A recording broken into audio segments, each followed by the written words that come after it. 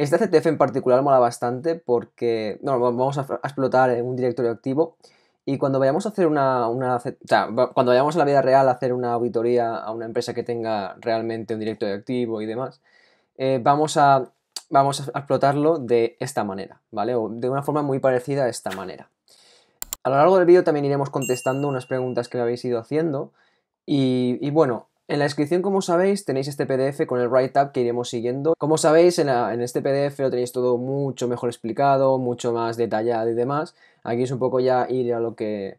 Vamos a ir a lo que, a lo que vamos. Bueno, vamos a ir siguiendo un poquito los pasos de, lo que sería el CTF, o sea, lo que sería el write-up. Aquí pues eh, tenéis todas las herramientas, tenéis todos los repositorios, tenéis todo lo que, lo que es necesario.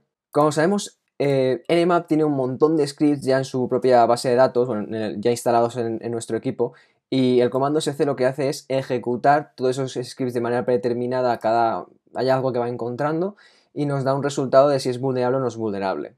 SV, por ejemplo, es scan version, que básicamente es para saber la versión de los puertos que hemos encontrado y pues, depende de la versión que encontremos, pues es explotable o no. Y PN es para evitar hacer un escaneo PIN, que muchas veces, como sabéis, las máquinas suelen tenerlo deshabilitado. También, mientras se está haciendo el... Bueno, ya se ha hecho, joder, rapidísimo. Vale, perfecto, vamos a ir al siguiente, al siguiente paso. Bueno, como vemos tenemos abiertos el puerto 3, 139 y 445, ¿vale? Y bueno, aquí tenemos una pequeña, una pequeña descripción de qué es cada cosa, ¿no? Los puertos NetBIOS son utilizados por el intercambio de archivos y aplicaciones de eso compartidos a impresoras. Los usuarios de red con, con sede fuera de red acceden desde el puerto 3, 139, eh, tengo dislexia con este puerto. Entonces, bueno, si queremos acceder de manera remota, pues accederíamos por este puerto y luego el puerto 445 es el puerto que se utiliza eh, por, por SAM, ¿vale? Por, por SMB, que luego iremos un poco explicando qué es todo esto y qué es lo que vamos a ir consiguiendo, que es el TGS, TGT y demás, ¿no?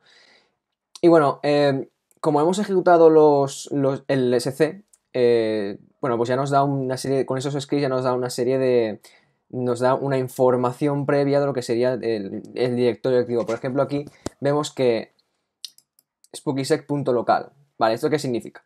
Eh, bueno, eso sería, por ejemplo, el nombre del dominio, ¿vale? Eh, todos los equipos se conectarían por spookysec.local, ¿vale? Por decirlo de alguna manera, a, grandes rasgos. Entonces, el, dominio del directorio activo es spookysec.local. Ok, pues ya sabemos, esta, ya sabemos esta información. Lo que sí que es realmente importante aquí es, para que nos funcione todo guay, tenemos que poner la IP de la máquina que hemos, que hemos encontrado, realmente del DNS, ¿vale? Y el dominio de ese DNS para que todo nos funcione guay.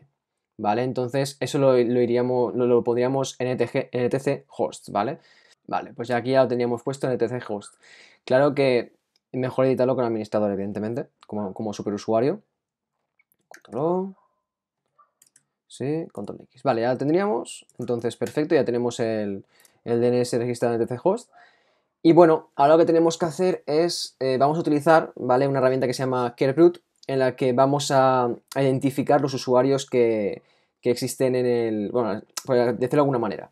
Kerberos es, el, es, un, es, un, servicio que se utiliza para la autenticación de, usuarios dentro de un directorio activo y lo que vamos a utilizar en este caso, vamos a utilizar Kerbrute, que es una herramienta que sirve para con ataques de fuerza bruta. Con esta herramienta Kerbrute vamos a identificar los diferentes nombres que pueden, o sea, los diferentes usuarios que pueden haber dentro del directorio activo que se autentican con, Kerberos, ¿vale? Bueno, ahora una vez ya tengamos instalada la, herramienta Kerbrute, una vez ya tengamos el DNS en, host y una vez tengamos ya la lista de usuarios y de contraseñas, ya podemos utilizar el comando, ¿vale? Vale, pues ya estaría haciendo el ataque de fuerza bruta contra Kerberos y ahora nos listaría todos los usuarios con estos diccionarios dentro de, la autenticación de Kerberos me hacéis bastantes preguntas últimamente sobre los estudios, ciberseguridad y demás. Y una de las preguntas es, opinión sincera, ¿merecen realmente la pena los másters en la escuela donde lo estudiaste? Si es una persona que está trabajando y dispones de poco tiempo y demás, sí que es una buena opción porque puedes ir más a tu ritmo. Son, daos cuenta que son másters 100% teóricos, sí, hay algo de práctica y es por ello que hice el vídeo de que lo tenéis aquí, en el que os monto un curso entero, un año entero de este máster que es 100% teórico con un poco más de, práctica con cursos de, de, Udemy. Pues depende mucho. Si eres una persona que está trabajando y no dispones de poco tiempo y con tus ratos libres que estás estudiando y sacarte el máster y demás, entonces ahí sí que es una buena opción. Si es una persona joven que tiene todo el tiempo del mundo y tal, Pues oye, yo por ejemplo lo hice porque como vino el tema del COVID no quería ir a clase con, mucha gente. Pero al ser un máster online también te da la opción de que sea mucho más barato. ¿Vale? Daos cuenta que, bueno, depende también, ¿no? Hay másters en este sitio por 1.500 euros y másters que tienen convenio y que son oficiales de otras universidades que valen un poco más, que también tienen créditos universitarios y demás. Es que todo depende. Para mí, en definitiva, sí que vale mucho la pena porque a mí me permitió este máster organizarme como, como yo quise.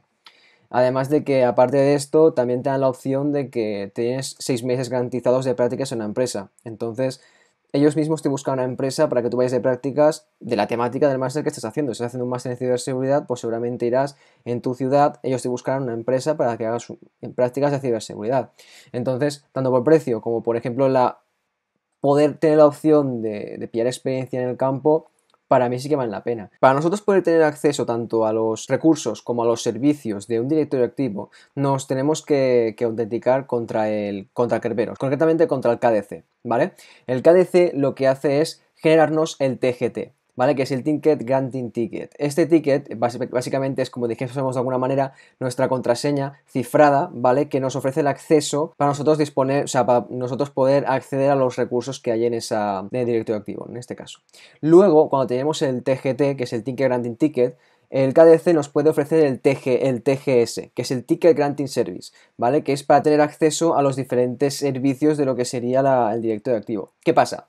Que muchas veces eh, hay, algunos usuarios o por configuración previa eh, está deshabilitada la autenticación previa del usuario. Es decir, que yo, por ejemplo, puedo hacer una petición al KDC diciéndole que soy, por ejemplo, SVC admin y como no está la autenticación previa, sí yo digo que soy SVC admin, pero no, de, ninguna manera te lo, te lo autentico. ¿Qué pasa? Que como no está la preautenticación activada, lo que hace el KDC es darme directamente el TGT, que es el Ticket Granting Ticket, ¿vale? Que es la, contraseña de acceso eh, cifrada, por decirlo de alguna manera, ¿vale? A, grandes rasgos está cifrada. Entonces, si no está la autenticación previa, yo ya tengo el TGT de ese usuario, ¿vale? Esto se llama como ASREP ROAST. ¿Vale? Entonces nosotros podemos hacer un ataque al KDC, a Kerberos al KDC, y nosotros obtener el TGT de los usuarios que no tengan preautenticación previa, ¿vale? Vamos a ver un poquito esto que es. Para ello utilizaremos una herramienta de Impacket que se llama getNPUsers y haremos referencia al SpookySec local y bueno, y aquí ya lo que haremos es spookysec.local barra svcadmin, ¿no? Haciendo eh, alusión, por ejemplo, aquí spookysec.local al nombre del dominio, al nombre del DNS barra el usuario que nosotros hemos encontrado, que en este caso sería svcadmin, voy a poner esto aquí, svcadmin, que no tiene autenticación previa, que como vemos la, propia herramienta de Kerbrute ya nos lo, nos lo menciona, que no tiene autenticación previa. Aquí como vemos ya está la primera, pues, ya el primer fallito, ¿no? ¿Qué comando dentro de Kerbrute nos, nos permitirá numerar nombres de usuario válidos? Realmente sería userenum, ¿vale? Pero en la versión que tenemos que se instala es diferente. Entonces, bueno, userenum, ¿vale? La versión que hemos visto nosotros antes es users. Bueno, primero lo que, lo que haremos es irnos al propio directorio de Impact, donde se encuentra esta herramienta, y una vez tengamos, ya estemos dentro, lo que haremos es invocar la herramienta con la configuración que nosotros le hemos puesto previamente, porque no te pegas. Vale, perfecto, pues le damos a Enter y que empiece a, trabajar. Una pregunta que también siempre me hacéis es si me quiero dedicar a la ciberseguridad, ¿debería hacer DAO, DAM o ASIR? Para quien no sepa lo que es esto, DAO es desarrollo de aplicaciones web, DAM es desarrollo de aplicaciones multiplataforma y ASIR es sistemas de eh, administración de sistemas en red. Son, son los tres tipos de superiores que existen ahora mismo. Creo que hay alguno también ya de ciberseguridad. ¿Yo lo recomiendo? Pues a ver, eh, depende, es que todo depende siempre. Yo a mi, a mi punto de vista yo pienso que sí. ¿Por qué?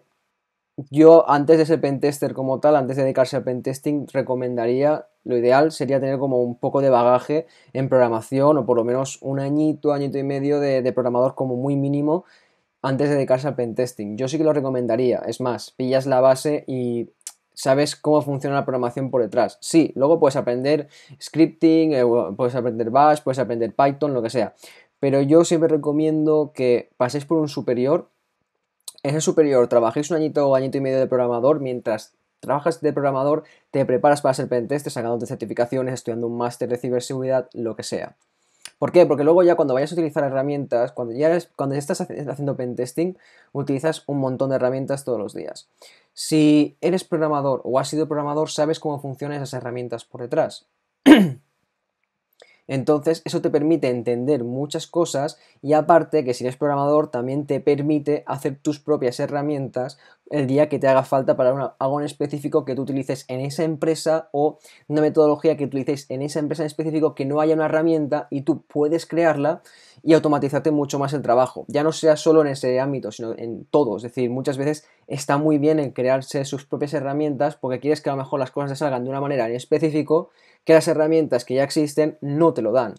Aparte de eso, que también puedas crear tus propias herramientas, te da una visión mucho más global de cómo funciona todo por detrás. Entonces, para mí, yo sí que recomiendo por lo menos tener un superior de programación, aunque sea así, porque en así también, pues después te puedes dedicar a la administración de redes o a montar redes y demás, y tienes un espectro mucho más amplio cuando ya eres pentester de cómo funciona todo por detrás y cómo son las herramientas que estás utilizando. Entonces, yo sí que te lo recomendaría. Vale, pues aquí ya tenemos el TGT de svc barra admin. Ahora lo que tenemos que hacer es, ese TGT, de alguna manera, lo vamos a desencriptar, ¿vale? O sea, esto está, encriptado y lo vamos a desencriptar de alguna manera. O sea, no, se puede desencriptar de algún... Está mal dicho así, pero para que nos hagamos la idea. Mejor dicho, lo vamos a craquear. Yo, por ejemplo, voy a guardarlo como hash.txt y vamos a utilizar hashcat, pero claro, en este caso, directamente si queréis algo más cómodo, copiarlo y pegarlo del propio PDF, ¿vale? Entonces, aquí lo que le estamos diciendo, por ejemplo, es el tipo de hash, ¿vale? Porque si nosotros por aquí nos vamos a hashcat help, nos da una tabla, a ver aquí, de cada, cada hash que vamos a, craquear o desencriptar, por así decirlo, eh, el tipo de hash que es a qué número equivale. Vale, ¿veis? Si aquí lo crepeamos, si, decimos, oye Haskell, dame toda la, ayuda, pero dime solo que es 18.200, ¿vale? O sea, 18.200, dame solo esa, esa búsqueda. Entonces, 18.200 es Kerberos 5, ¿vale? O sea, el SR sería el TGT, ¿vale? Entonces, equivale al 18.200. Vale, pues una vez entendamos esto, vamos a dar al hashcat y ya empezará ahí a hacer sus movidas, vaya. Vale, como veis es bastante rápido y ya lo ha conseguido desencriptar y la contraseña sería management 2005, ¿vale? Entonces de esta manera, evidentemente, pues en la vida real os hará falta un... un, no serviría del todo, ¿vale? Os haría falta un diccionario bastante más grande. Pero bueno, para hacer la, muestra y tal, eh, sería así como sería en la vida real realmente. O sea, muchas veces lo que solemos tener son herramientas o ya máquinas en la nube con diccionarios de teras de, de capacidad que se encargan de estar ahí todo el rato desencriptando contraseñas o hashes que nosotros encontremos a lo largo de las, auditorías. ¿Vale? Pero así es como se hace en la vida real, solo que con RockYou, que es un, diccionario bastante más pequeño, que creo que son 140 megas el que viene instalado en el propio Kali. Que ojo, cuidado, muchas veces RockYou sí que sirve, me parece que no, pero muchas veces el propio RockYou sí que sirve. Pero bueno, igualmente, si queréis tener ya un, diccionario potente, que creo que pesa 14 gigas o 9 gigas o así, es el Kaonashi, lo podéis descargar desde Git. Vale, perfecto. Como ya tenemos las credenciales, ahora ya podemos hacer algunas cosillas, ¿vale? Hemos visto antes que tenemos el puerto, el puerto 445 abierto, ¿vale? Entonces lo que vamos a intentar ahora es, 445 eh, es para ver los recursos compartidos, por así decirlo, entonces lo que vamos a hacer ahora es, vamos a utilizar SB Client para ver los recursos compartidos que tiene SVC Admin. Vale, perfecto, entonces vamos a ver. Como ya sabemos la contraseña que es Management 2005, podemos ver que esos son los recursos compartidos a los que tiene acceso este usuario, ¿vale? Aquí hemos algo curioso, que es backup. Para ello ponemos smb client 124 10.10 10.10.38.90 barra backup, backup. Vale, aquí lo que estamos diciendo es, vale, eh, quiero acceder al recurso, bueno, al equipo 10103890 al recurso backup. Y evidentemente tenemos que especificar el nombre del, usuario, que sería svcadmin. Vale, se han ido dos barras invertidas. Aquí, otra. Vale. Contraseña, management 2005. Vale, perfecto. Vale, como ya estamos dentro, vamos a listar que hay dentro de este repositorio backup. ls y vemos que hay un backup credentials.txt. con cat podemos ver qué hay en este archivo de texto. Bueno, eso si estuviésemos dentro de una terminal, perdón.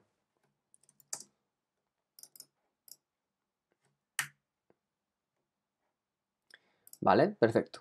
Con get lo descargamos. Como yo estoy dentro de este directorio, me lo ha guardado aquí. Entonces vamos a meternos ls y aquí tenemos backup credentials. Lo mismo, le hacemos un cat y aquí ya nos dice, nos da esto. Esto es la contraseña, esto es una contraseña en base 64. Si nos vamos al PDF, os he puesto aquí un link para que vayáis a una página web que os puede decodificar las sentencias que encontréis en base 64. ¿Vale? Entonces, es muy simple. Pillamos esta sentencia de aquí, le damos a, le damos a pegar, decodificación en base 64, y aquí nos decodifica lo que hay en esta sentencia. Vale, como esto es una cuenta de backup, vamos a utilizar una, una herramienta que se llama secretsdump.py en el que vamos a dumpear, o sea, vamos a, vamos a acceder y listar a todos los hashes de todos los usuarios que haya, ahora mismo en esta cuenta. Entonces, le damos Enter, nos pedirá la contraseña, que la contraseña tenemos aquí. Esta sería la cuenta y esta es la contraseña. Le damos a pegar y ahora comienza a dumpear todos los usuarios que tiene en memoria. Vale, como vemos aquí tenemos la cuenta administrador con su hash. Para ver si podemos utilizar esta cuenta con este hash para hacer un, inicio de sesión, vamos a utilizar una herramienta que se llama psexec que nos dirá si se puede iniciar sesión o no se puede iniciar sesión, ¿vale? Eso es una buena praxis, dado que está bien comprobar si este, este usuario con este hash, este hash es un hash NTLM, eh, este usuario con este hash eh, se puede iniciar sesión o este usuario tiene permisos de administrador contra otra máquina que exista en el directorio activo. Entonces, nos vamos aquí al PDF y copiamos psexec hashes y aquí ponemos el hash del usuario administrador administrador arroba que es el nombre del, del dominio. Ahora con psexec lo que vamos a hacer es, ya tenemos el administrador con el nombre del dominio y ya tenemos el hash, ¿vale?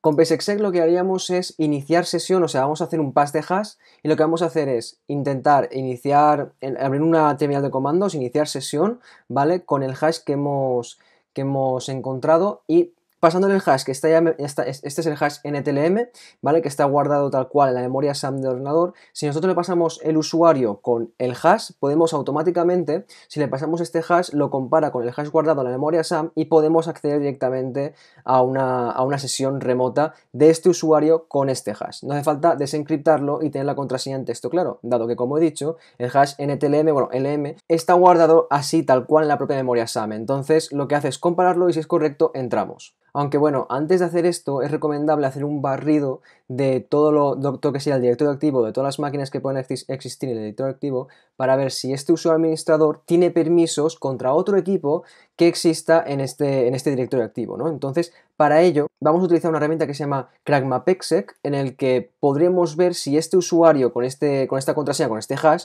eh, existe en otro equipo o por lo menos si tiene permisos de administrador contra otro equipo que exista en este directorio activo. Para ello ponemos el comando que os he puesto en el propio PDF y aquí nos comenzará a listar todos los equipos que existen en spookysec.local, es decir, en el, en el DNS del directorio activo y nos irá haciendo un barrido de todos los equipos y nos dirá si existe, si no existe, o en el caso de que exista como Pownet, quiere decir que en ese equipo este usuario administrador o esta cuenta que hemos encontrado tiene permisos de administrador.